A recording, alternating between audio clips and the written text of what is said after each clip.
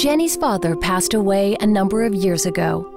Her family still struggles with whether or not they made the right decisions during his final days. When he was in comatose stage, he could not make any decision at that time. And my brothers, both of them love him so much, but they have different opinion. If he were alive, I think he'd like to make a decision to tell the children what to do.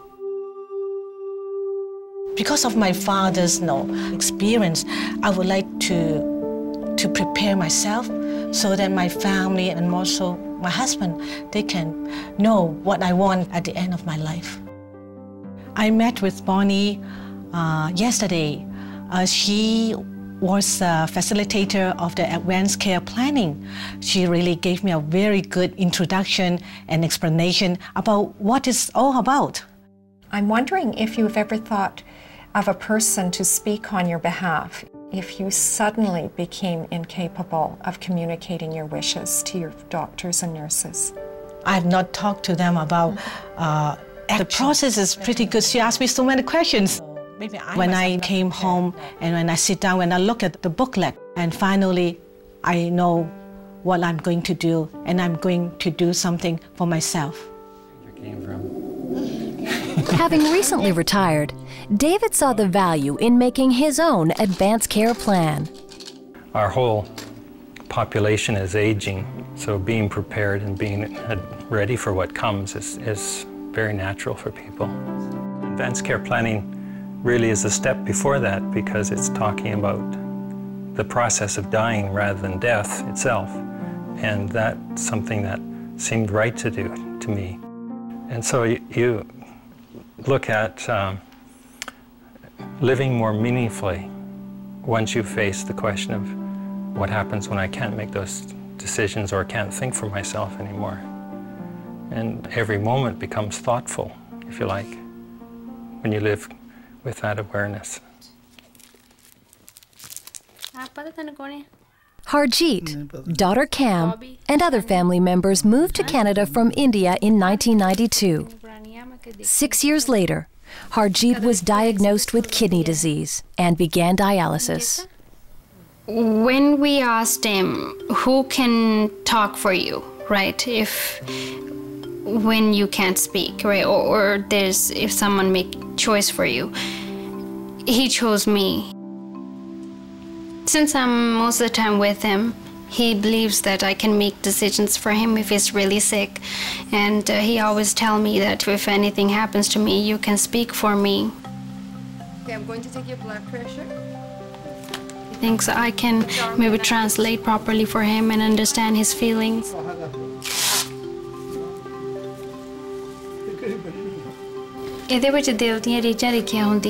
Well, my voice, it helps us a lot. I understand more about how he feels about his family, about me, about himself, what, what kind of decisions he wants, you know, when he can't say something. I usually don't hear that from him. Like, you know, I, I love you all and, you know, take care of my wife and you guys should all help each other. I never heard that from him, honestly, before. And this was my first time we came to some kind of a solution or a conclusion, right, about his life. So at the end, he found it, yeah, it's worth it. Um, if I cannot communicate with you guys, right. maybe I have an accident, then, but you know what is your mom's wish. So this is a workbook that uh, she goes over with me. Then I call all my family members you know, around the dining table. I told them that I want to tell you guys that what I learned, and it is for your mom. And I want you to know what is my wish uh, at the last stage when I cannot communicate with you, but you know what I want. Because I'm still healthy and young now, but you know anything can happen. Mm -hmm. But when I'm getting old, maybe I'm having no dementia, and then I, you, I think it is very good. It is wonderful.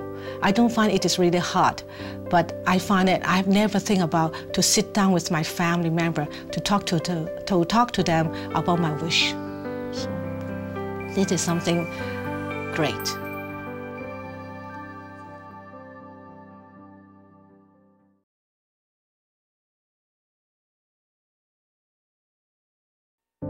Advanced care planning is a process to help you better understand and reflect on your goals and choices for healthcare at a time when you're no longer able to speak for yourself.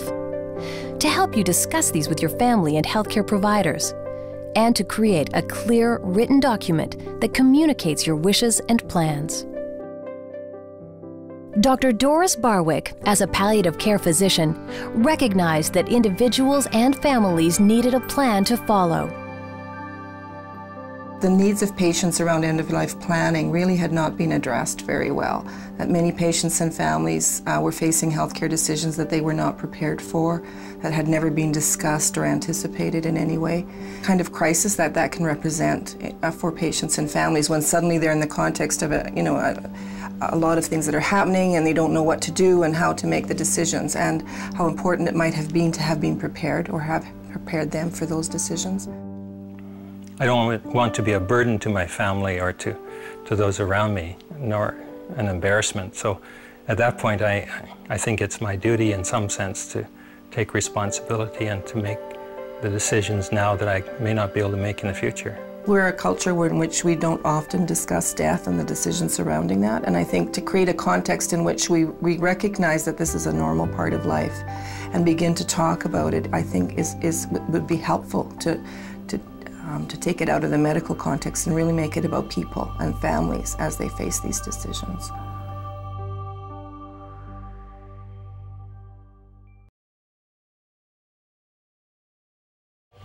Time to come off, Bob. Three minutes left. Yeah, and you're looking good. Lee Bellafo works as a registered nurse in a dialysis unit. Patients come here to keep them alive, really. This is a life-limiting disease with no cure. But we're doing advanced care plans now with all of our patients. Patients and families often have unrealistic expectations. So if we talk about them, it prevents a lot of uh, issues, a lot of problems later on. All right, Lee, so all we need is a consent form to be signed okay. for dialysis. I've worked with three or four people already that have said to me they want maximum care, no matter what. And of course, our program is about respecting choices. So if that's what they want, that's what we will honor maximum care. The healthcare choices you make when you are capable may not be appropriate when you become very ill. Your doctor will consider your choices, but will only offer treatment determined to be of benefit. As a family physician, Dr. Dale Stogren has been proactive about discussing advanced care planning with his patients during regular physicals. The way I broach the subject is, uh, you know, everything looks like it's in order. Let's look to the sort of future, and one of the issues that I think is timely to talk to you about while you're still, while your health is still good, is what would you want to do, or what would you want to happen if you get into a situation where either your your health suddenly crumbles, uh, you develop a serious illness, uh, you're struck with a stroke, and you can't sort of uh, make decisions for yourself, or at least you can't communicate those decisions, so that everybody's on the same page, that we don't get into um, a, a predicament in an immediate situation when they're sick scrambling around an emergency department trying to decide what we should do and what we shouldn't do. We're just going to take this, try taking this blood pressure now and see how that is today. The whole notion of talking about death and dying is much more relaxed now than it was in the past. It's uh, a much more open discussion. Okay. Excellent. Okay. So that's very good. That off. Oh, yeah. If given the circumstances and your life has changed and you know the players in your life have changed, then we look at it in a totally different way. I can live. I'm going to live. Live for, tomorrow. For another 10 years, eh? Oh, God. That'll be something now. But it, I think really what we're looking at is when there's a when um, you have an illness such as a cardiac illness, there's adjustments that you need to make. As a social worker who supports individuals and families within a hospital setting, Terry Brock knows the importance of advanced care planning. Today, he is speaking to a group of heart attack survivors. Care. I find it really important that people let their families know the kinds of medical interventions they want and what they don't want because you've been through the emergency experience, you've had things done to you, and you know, people have a right to decide what they want and what they don't want. One of the tools that we can use for that is an advanced care plan.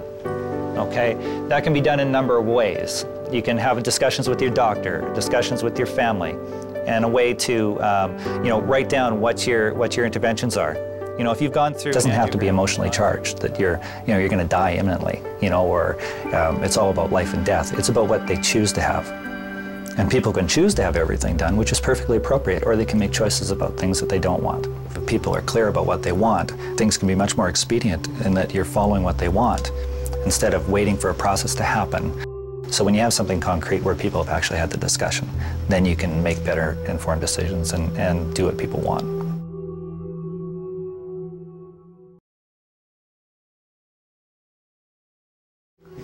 I have materials that I can send home with you to read.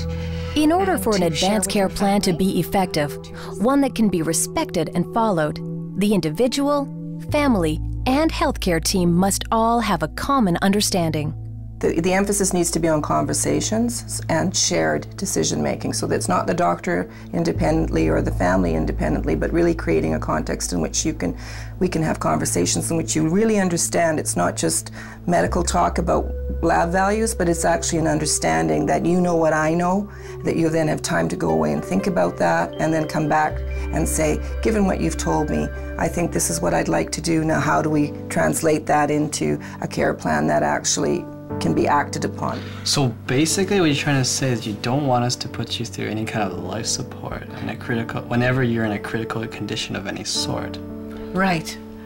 N no, not at all. I, I hope that you know, with this kind of you know, planning and the process that people can really understand it is good for the person and also it is good for the uh, healthcare system so that they can provide to give what is the best uh, to the person.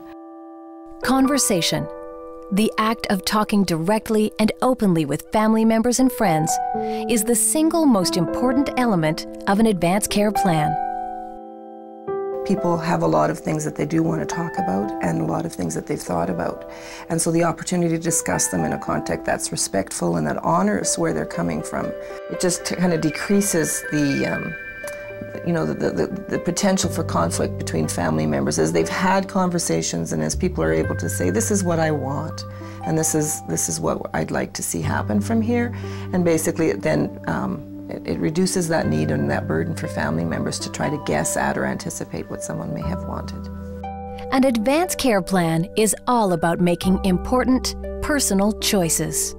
One clear choice needs to be if, if I'm, for instance, in a situation where I can no longer speak for myself, who would I appoint to be that spokesperson? The spokesperson is supposed to represent what the patient choices were, represent the patient, not their own personal point of view. And you need to have conversations in which they can really know and understand what your wishes are. Um, I think literature has shown that if people don't have these conversations, that my ability to predict what your choices might be are only 50-50. This kind of conversation that sometimes takes place in a hospital room when death is happening could so much better be done in, in when you feel well, when you feel healthy. And so it doesn't have to be something strange and odd and remote from life, it can be integrated into life.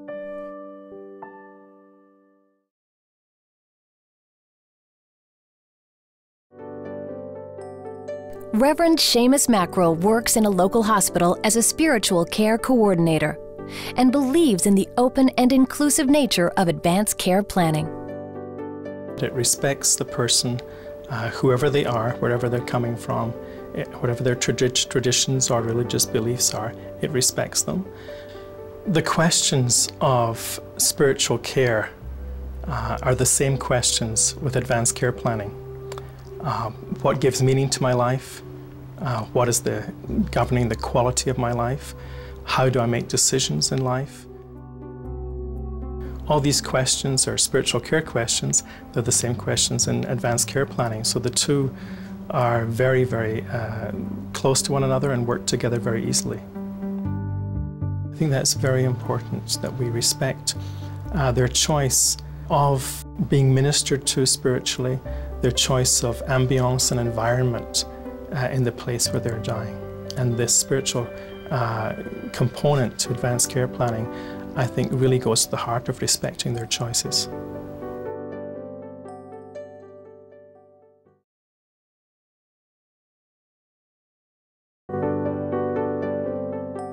Though your wishes can simply be verbal, a written and witnessed advance care plan provides clear and convincing evidence of your choices and is legally recognized under common law. It will help others understand your wishes if there ever comes a time when you are incapable of communicating yourself. The tool that we use, the My Voice workbook, it, it gives us a, a, really good opportunity to explore all kinds of, of things that affect a patient under medical treatment. If a person reaches that stage where they, they are unable to communicate to, to us, the first thing we would do is look for that. Is there an advanced care plan? And we'd look for the, the spokesperson, the decision maker that's been named in that uh, workbook and we contact that person. The advanced care plan document is something that allows the, the family to say, here it is, and to get that into the system to work and to have uh, its impact because you get a chance to say, what do I want? And when do I want it? And how? And in what circumstances? And facing that, you, you can do your best and express yourself and, and um, be a, your own person.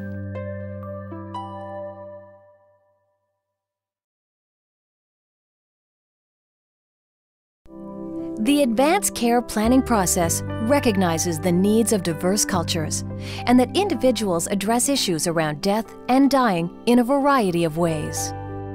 Some cultures it's really who makes the decisions that's different in different cultures. In Western culture, it tends to be more the individual. Our focus is on individual and the autonomy and the rights of, that we have to make decisions. And in other cultures, it's more in a familial context, or it made the decision making maybe deferred to an elder son or someone like that. You know, there's, there is a reluctance among many people to talk about death and to talk about what your wishes are.